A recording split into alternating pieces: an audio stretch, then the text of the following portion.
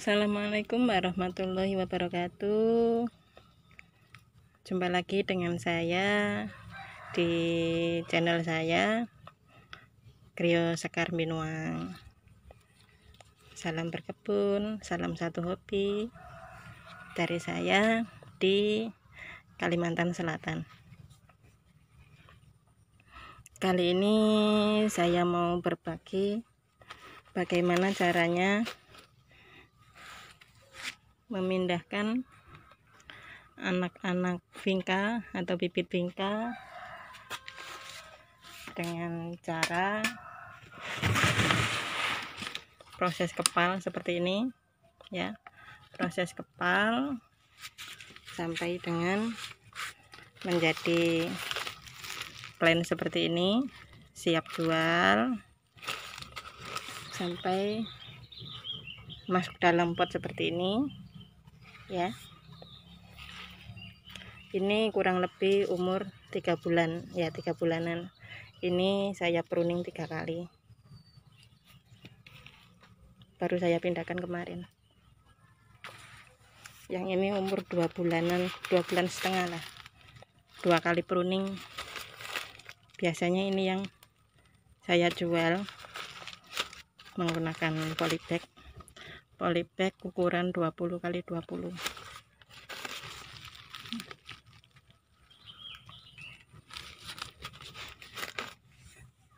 Oke kita mulai ya. Kita siapkan bibitnya yang mau kita pindah itu bibit semai. Ini sebagian kemarin sudah saya pindahkan.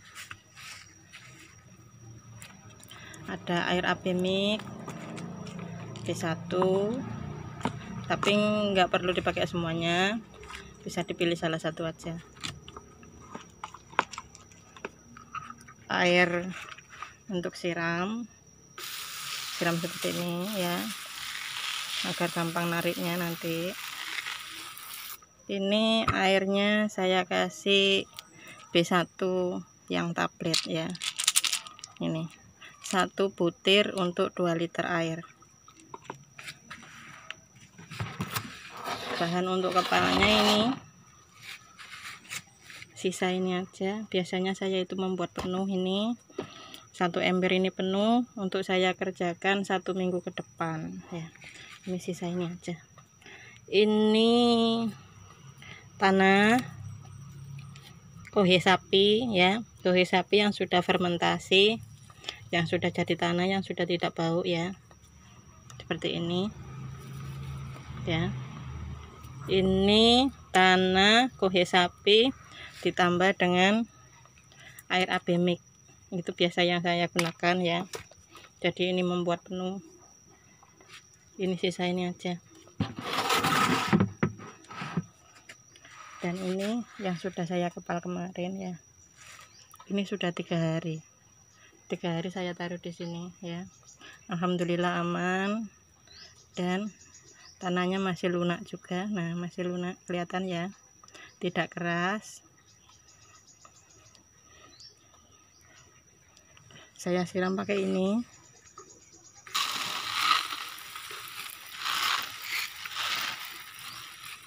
Ini air B1 ya. Oke kita contohkan sedikit ya cara untuk mengepal bibitnya oke.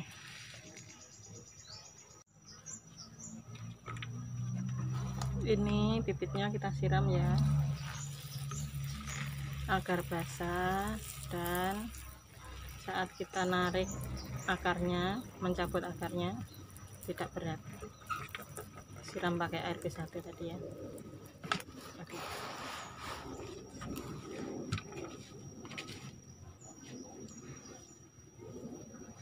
oke tanah yang dikepal ya. Kita buat bulatan seperti ini. Kita buka jadi dua. Ini akarnya ya.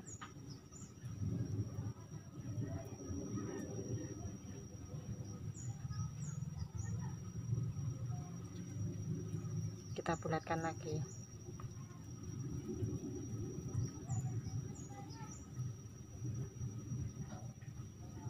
seperti ini jadinya.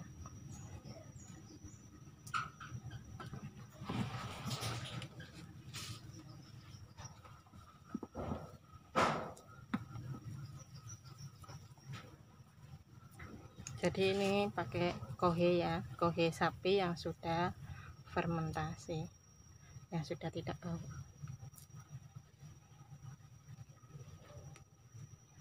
Ini akarnya kelihatan ya kita taruh di tengah seperti ini. Lalu kita tutup kembali. Kita bulatkan lagi.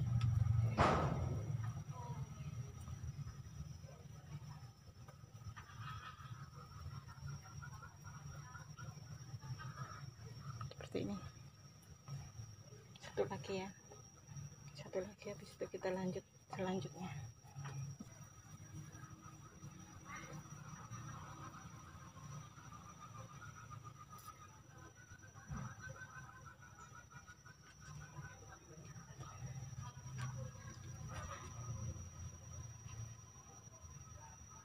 jika akarnya kepanjangan seperti ini kita bisa lipat ke dalam seperti ini ya. Lalu kita tutup.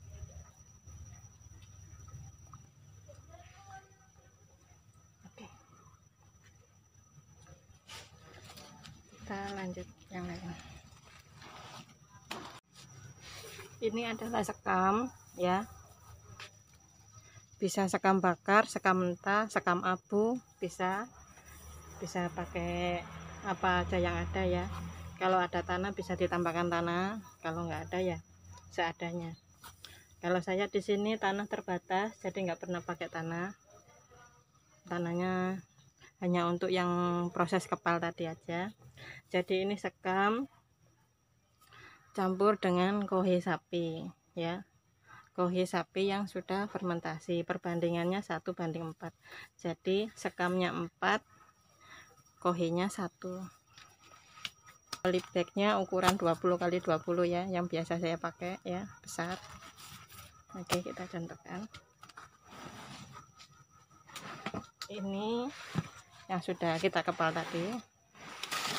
Ini sebenarnya sudah eh, di sini sudah tiga hari ya.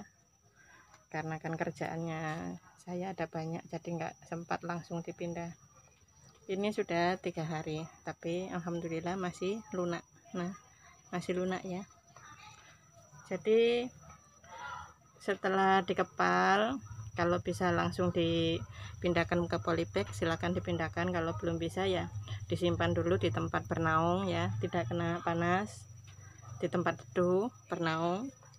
Lalu jangan lupa disemprot tadi ya. Disemprot tadi pagi sore agar tidak layu ini tiga hari sudah. Alhamdulillah masih segar ya.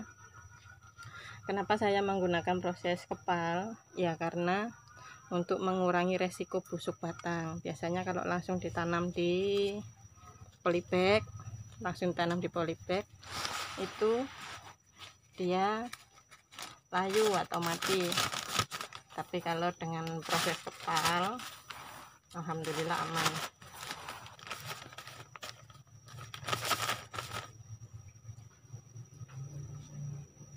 seperti ini ya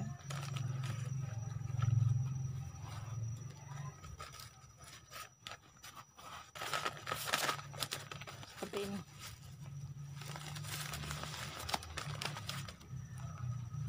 ya. Saya menggunakan polybag ukuran 20 kali 20 kalau kurang isinya kita tambah lagi.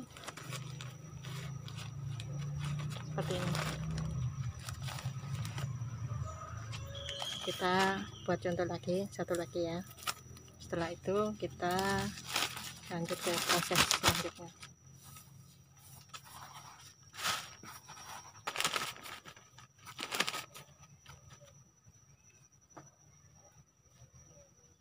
masih lunak ya nah masih lunak.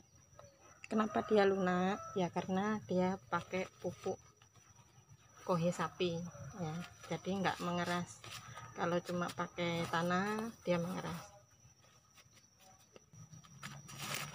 Nah seperti ini ya Oke.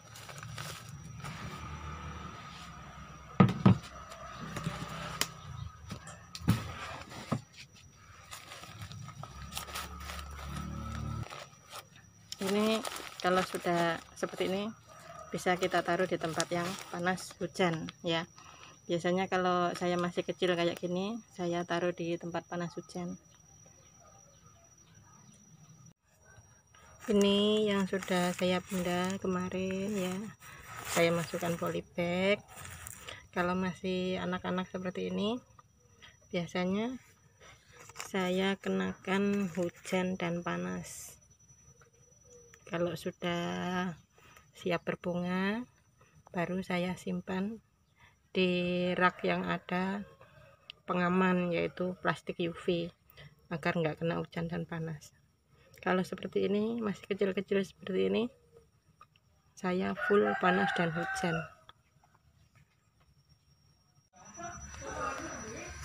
Ini yang sudah subur sudah dipupuk tiga kali pruningnya dua kali.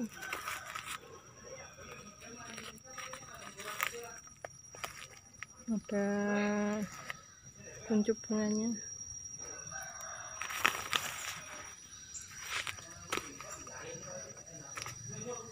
Siap untuk dibungakan. Ini umurnya dua bulan setengah. Saya pakai polybag ukuran 20 kali 20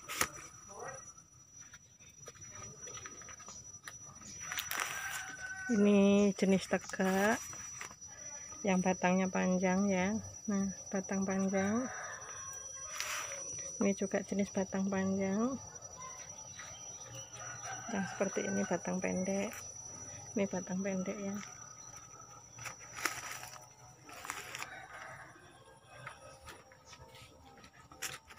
Ini batang panjang juga.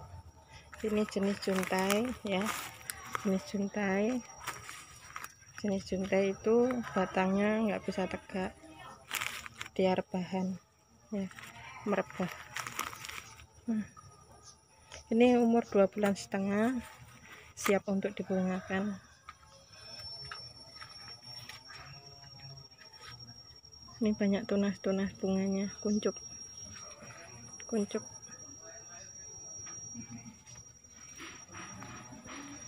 Nanti kita ambil beberapa polybag untuk contoh nanti kita bongkar ya. Oke. Proses kepal. Kenapa saya menggunakan proses kepal?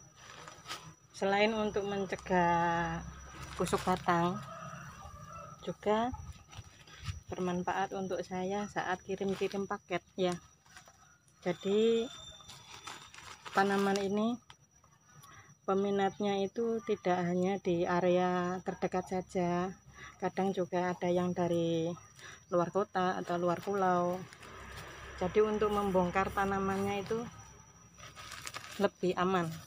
Ini yang tanaman sudah jadi ya yang sudah hidup seperti ini. Nanti saya kasih contoh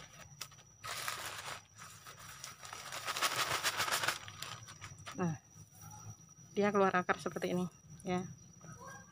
Kita bongkar.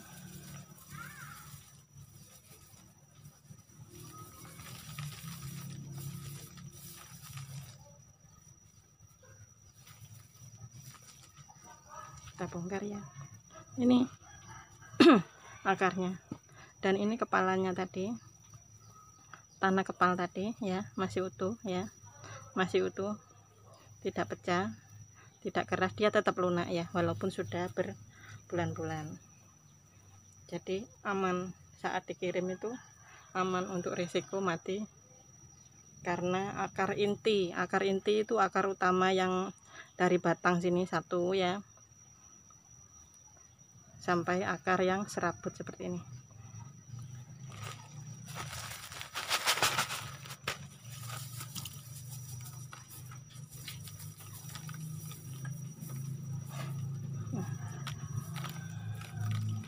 nah seperti ini. Ini tanah kepalan tadi. Kelihatan ya? Tanah kepalan tadi masih utuh ya. Nah dan akarnya pun subur ya. Subur. Saat ngirim paket seperti ini. Ya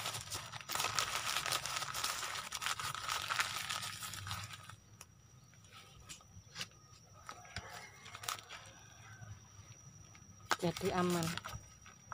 Akarnya tetap ada tanah yang tidak terbongkar ya. Seperti ini terus kita kirim paket ke tujuan yang minat. Dia aman. Kita kepal dari semayan ini sampai dia sebesar ini dia tetap aman ya kepalanya ya. Saat kita kirim paket akarnya pun tetap utuh tidak rusak tidak ada yang patah-patah ya. Langsung kita bungkus seperti ini. Lalu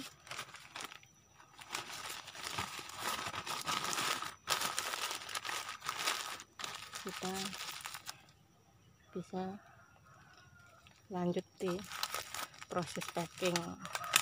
Nanti kita bahas lagi ya kalau kita bahas tentang packing-packing ya ini tadi kita membahas tentang kepalanya. Nah seperti ini. Ini cuma contoh ya. Nah seperti itu. Ini tadi yang pindah di pot.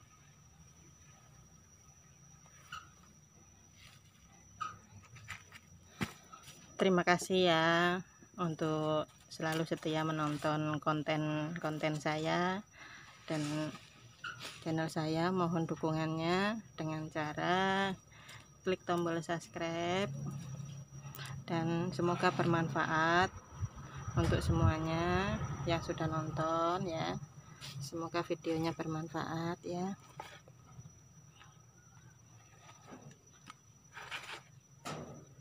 Sampai di sini dulu. Saya berbagi tentang pengalaman saya Semoga bermanfaat untuk kita semua. Salam satu hobi, salam berkebun. Assalamualaikum warahmatullahi wabarakatuh.